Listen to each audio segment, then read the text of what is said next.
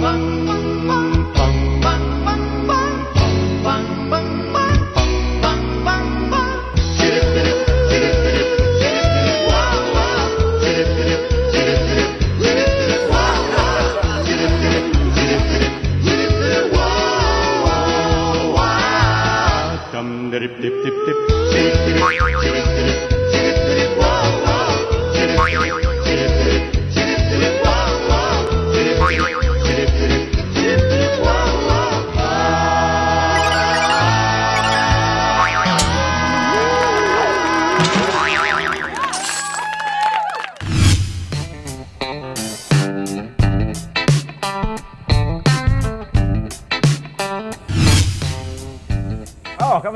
Sambahay?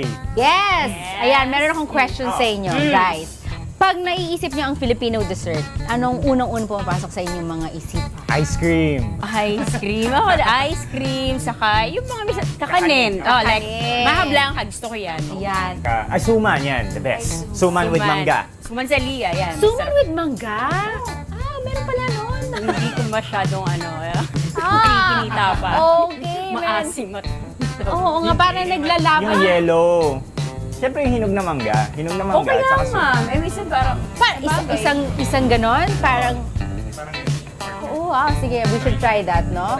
Pero ito nga, when we say Filipino dessert, kasama dyan ang ube, leche flan, sagot gulaman, at kung ano-ano pang minatamis na prutas. Combine them all, add ice and milk, and voila, meron ka ng halo-halo!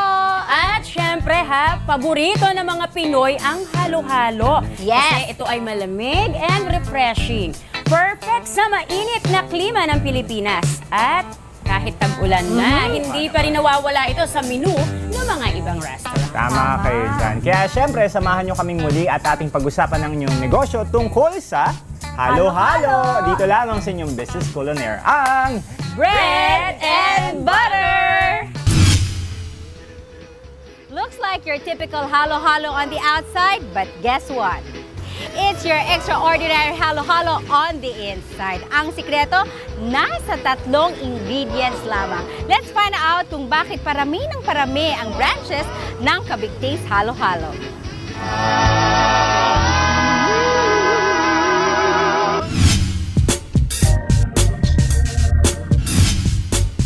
Okay, makakasama po natin ngayon si Ms. Rowena Andres, Manager of Kabig Taste Halo-Halo. Hello! Welcome to Bread and Butter. Thank you for having me. talk about halo-halo. Syempre, isa sa mga sinasabi nga ng mga consumer natin is kabig tea. Uh, bakit po ba? What's, what's so important or what's different about your halo-halo? Um, we only have three ingredients in our halo-halo. So it's the mashed beans or what we call halaya. Halayang Yes, ube. beans. Beans. Oh, is that Beans. ube? Oo. May beans, halaya. Hinalaya yung beans. And then we have the pastillas made from Carabao's milk. And, In the halo-halo. Yes. And um, sweet corn. Happy na nga ba? Tatlo lang. Yan. Yan ang ano. Yan ang masarap. That's the pastillas. Ay, panalo. Okay. I love pastillas.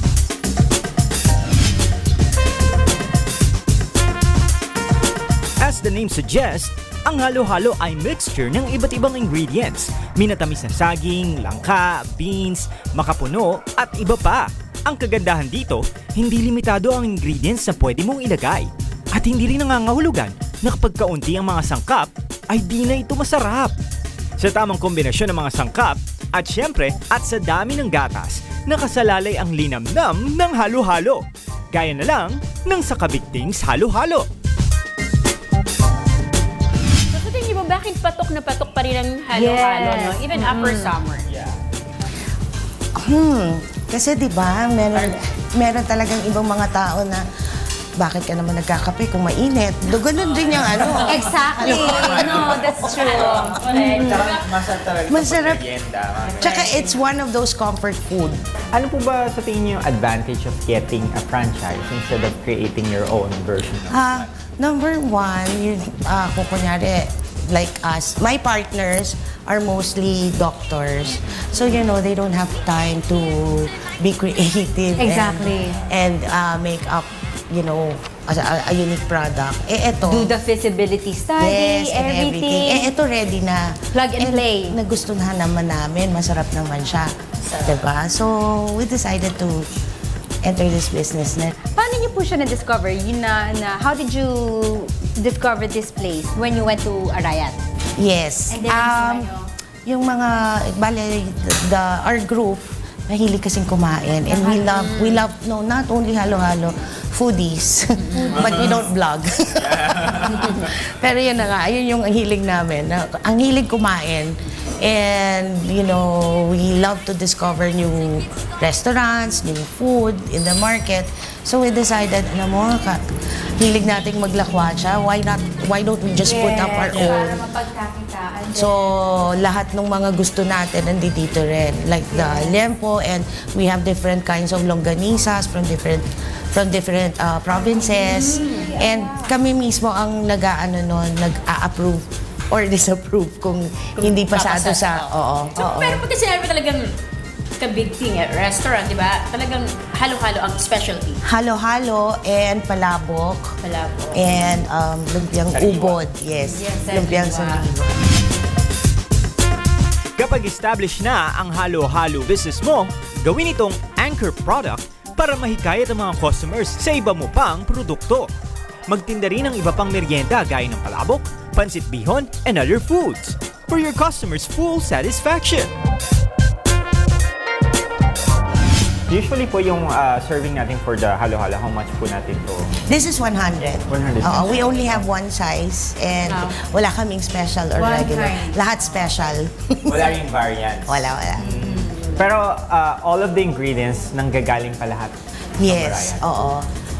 Para maging ano yan eh, for consistency. Yes, that's right. For consistency, dapat Especially lahat. yung ano, yung pastillas. pastillas. Oo.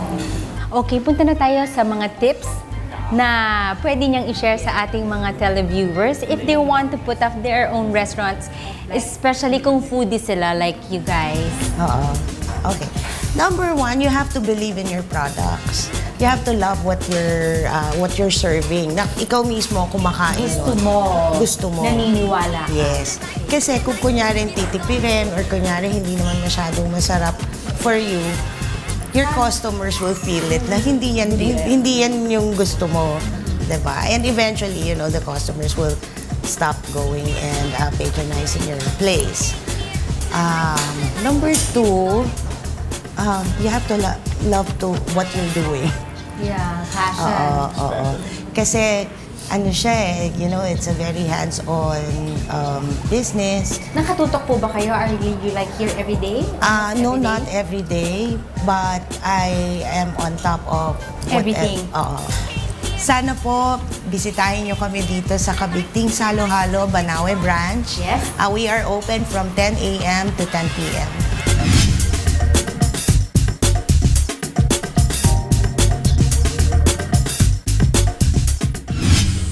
It's not just about business, it is also part of an advocacy to have a new coconut industry which will help the farmers. That is why this restaurant offers only coconut-based foods and for their dessert, their halo halo is mixed with a cocoa ice mix instead of a regular ice. Let's get to know more about the uniqueness of their cocoa halo halo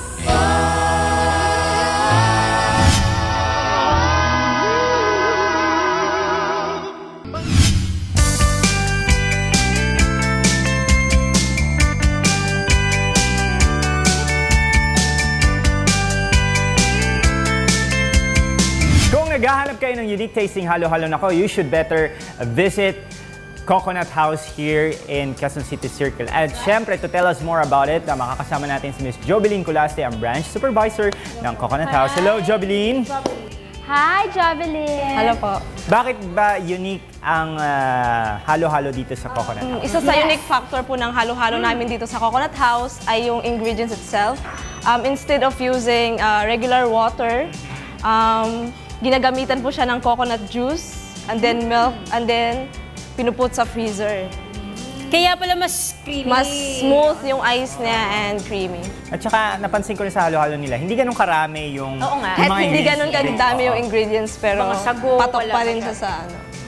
Pero kahit na hindi ganun kadami yung ingredients, nakakompensate nung coconut juice na ice. Pero kasi di ba, Jovelyn, tapos na yung summer, ah, mabenta pa rin ba yung halo-halo even Opo, sir. tapos Um, yung summer? Isa siya sa mga number one sa mga dessert namin. Lagi nagtatap one po yung coco halo-halo namin. So you mean to say all year round, talagang pinupuntahan ng halo-halo nyo? Kahit umuulan, Isa sa kagandahan ng negosyong ito ay ang pagiging suitable sa lahat ng panahon at klima. Bagamat mas nagbubumi ito kapag summer season, may mga customers pa din ito all year round. Aside from ah, your halo-halo here in Coconut House, ano pa bang ah, mga products ang sinaserve niyo here sa inyong restaurant? um, meron kaming pansit buko. Isa sa specialty namin yung pansit buko din. Ano pa? Um, Coco Okoy. Fried vegetables with coconut strips. Meron din kaming other products like coconut soy, virgin coconut oil. Yan, So yung products. karamihan ng mga food dito, may halo talagang... coconut. Oo. Everything has touch of coconut. So it's gonna be either coconut juice, yung meat, yung milk. Coconut House is just a part of the owner's advocacy to create a new coconut industry, which will benefit not just the big companies, but the small farmers as well. Pero aside from that nga, kasi di ba, nabanggit nga ni Jovelyn na meron din sila ibang mga products. In that way, natutulungan din nila yung mga farmers. May ibang mga products like coco sugar. Ang pinopromote talaga ng Coconut House ay hindi lang yung mga Refined sugar or white sugar. Apa. You really use raw coconut sugar. coconut sugar. At the same time, natutulungan namin yung mga farmers. Farmers like, natin. hindi lang po copra yung product. Marami pang iba. So, marami pa. So, yung owner and then together with the partners po, tinutulungan yung mga partners to create different kinds of coconut products. So, um, saan pa, saan pa kinukuha yung mga coconut products niyo? Different farmers, different Oh, different suppliers. Location can make or break a business. Kahit pa sa maliit na stall lang ng halo-halo, targetin ang mga lugar na matao at i-base din ang presyo sa kakayanan ng target market mo. Coconut House is strategically located at Quezon Memorial Circle which helped the business a lot in bringing in customers. Ah, dito sa Quezon City Circle, anong klase ng mga tao ang usual diners niyo? Ah, usually mga health conscious po, mag- mga joggers, tas yung mga business around the area. Kasi di ba, napansin mo, looban siya. So, kumbaga yung tao, bibisitahin talaga. Place. talaga. Talaga, rin na word of mouth, binibisita po nila. Tandaan, ang bawat bibili ng halo-halo mo ay potential marketer mo din. Kapag nagustuhan nila ang produkto at serbisyo mo, ire-recommenda nila ito sa mga kakilala nila. Kailangan mo lang ma, ano yung, kung ano yung point of difference mo. So, kailangan unique, hindi pa siya gano'n ano sa market para papatok talaga siya kahit maraming competitors. Ah, estimated price pala per dining. Um, 145 to 180. 145 head. to. How much yung halo-halo serving natin? Ah, pag gusto niyo regular, 85 pesos siya. Pag with coconut ice cream on Special. top, 100. Dito lang po kami sa loob ng Quezon City Circle. Um, open po kami 7 to 9 po. That's 7 a.m. to 9 p.m. Wala kayong broken time, hindi kayo nagko-close during hapon. Ah, wala po. Dire-diretso. Okay, perfect. Thank you so much! Thank you po. Thank you.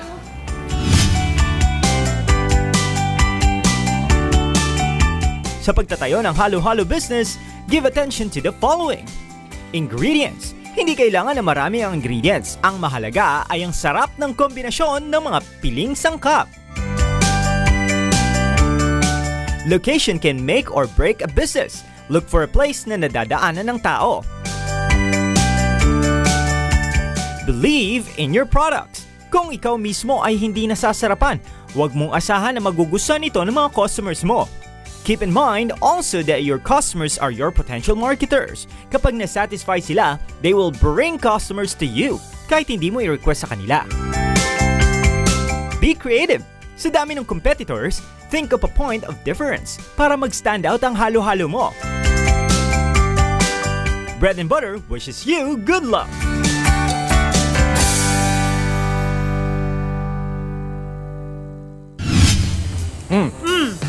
Ang realization ko sa ating uh, furniture for today, kasi before, tuwing summer lang talaga malakas Correct. ang halo-halo. Yeah. Pero ngayon, hmm, pero ngayon kasi parang anytime, meron ka nang Yes. mabibilan ng halo-halo. Kahit hindi summer. Kahit hindi summer, kahit tag-ulan. Kasi parang hinahanap na rin ng mga Pinoy, di ba? Nakasanayan na rin. Tapos, yun nga, pabago-bago yung klima ng Pilipinas, di ba? Kaya, nahanap-hanap na rin yung halo-halo. halo-halo. All Tapos, year round isa pa, Yes. isa pa dito, Oh.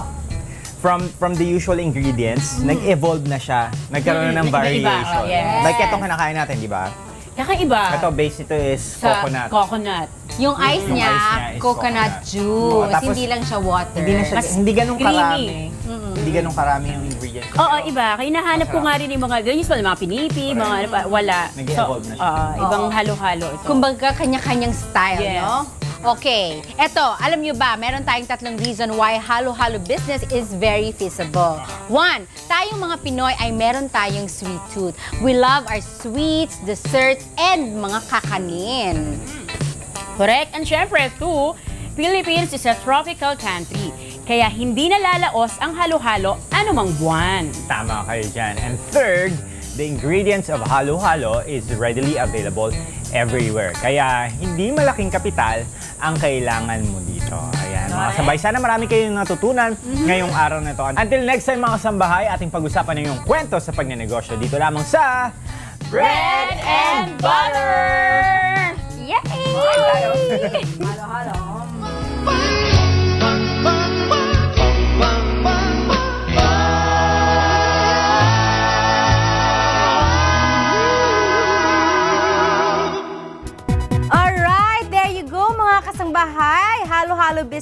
Is truly a very fe- fe- feasible in all seasons. Of course, we would like to thank Miss Rowena Andres, Manawi Branch Manager of Kabig Things Halo Halo, uh, Miss Jamie Hernandez, Branch Manager of Coconut House, to its supervisor, Miss Jovelyn Colaste. And for more business tips, of course, you can reach us on our social media accounts, facebook.com slash BNBTV and at BNBTV for our Twitter and Instagram. You may also watch our previous episodes at www.untvweb.com and our, our email address.